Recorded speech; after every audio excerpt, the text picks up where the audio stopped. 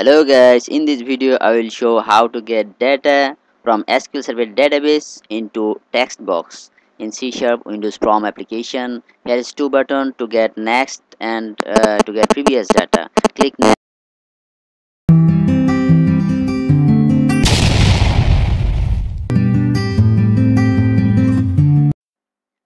This is the database my first SDB and this is the table item info tab. There are many record this data in from SQL table. I will show this record in the text box. Uh, this is the column of the table, item info table, item type, item name, quantity, unit, item ID. I am just designing the form UI. Uh, first text box is text box 1 and uh, this is um, for item ID then tag textbox 2 is item type tag textbox 3 is address. Oh sorry.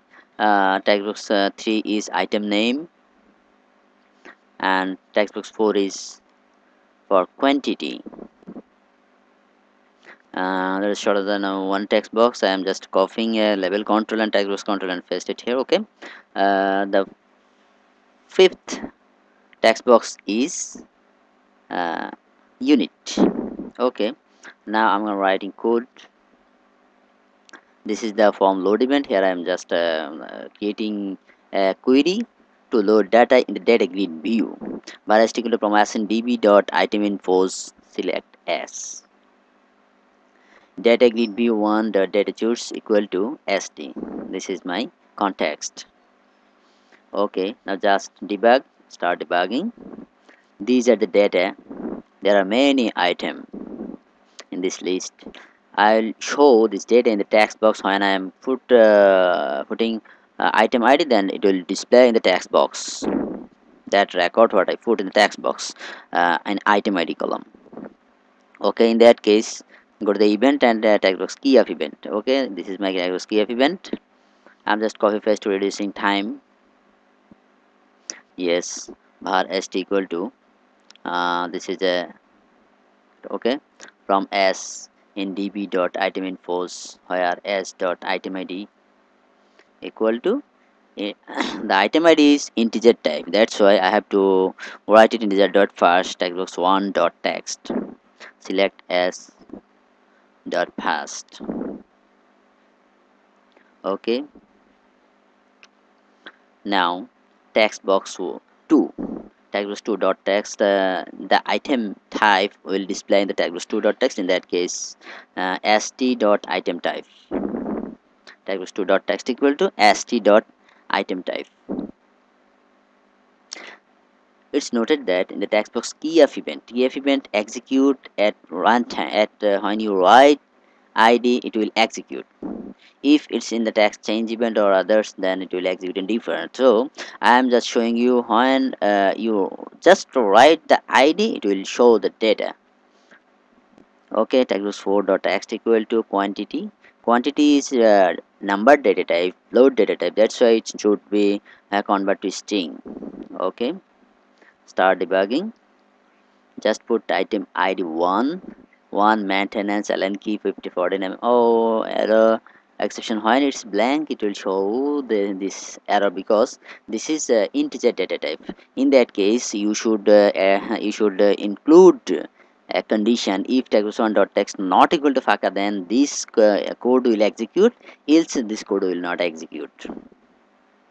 Okay again start debugging. Item id 1 yes maintenance ln key 14 and 2 ln key 15 and uh, 4 17 okay. Now go to the toolbox. Add two button control to see next data and previous data. At button click event. Without writing one two three you just write one then click on next next next. It will show two three four. Or if you or uh, click on previous it will show uh, four three one sorry four three two one okay. Uh, now in the button click we want to see the next uh, first of all just declare integer value equal to integer dot first text box one dot text what already exist uh, in the text box one? What already what number already exists in the text box one? I just take it in the val variable integer data variable text box then uh, text box one dot text val val plus one. Each time it will add one then it will show in the text box. After that that that data that item id data will display in the other text box uh, in item name quantity unit and others. This is number type. That's why it uh, should be convert to string because uh, the text when you display it in the text box it should be convert to string. Okay. Now to maintenance. Just click on next oh the item id changed but uh, the data item item type quantity is not changed. So that's why just i need to add this code in the button click event as well. Paste copy and paste now i think it will work. Change item just as icon of the button click event. Put 2 okay. Yes now it's changing 517 vulnerability 8 mm 7 next click on next. Okay 8 it will showing perfectly. You can check it in the grid view okay? Now add another button control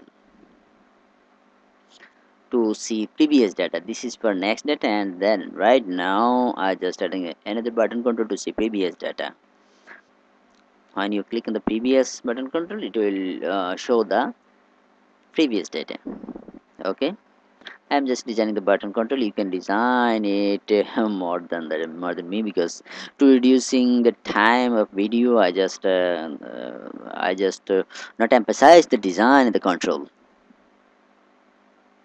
Oh it's not showing change the design. Oh. Yes. This color is uh, it's now it's uh, showing perfectly go to the event click event.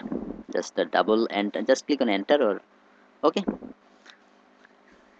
Exactly copy the button once uh, click events code this just copy and paste it in the previous. The difference between next and previous is the number.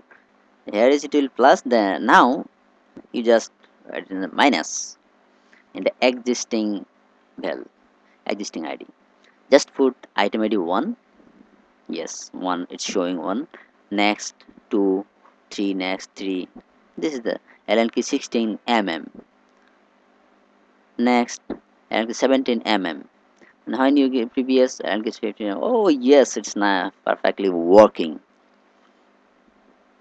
Now i think you understand well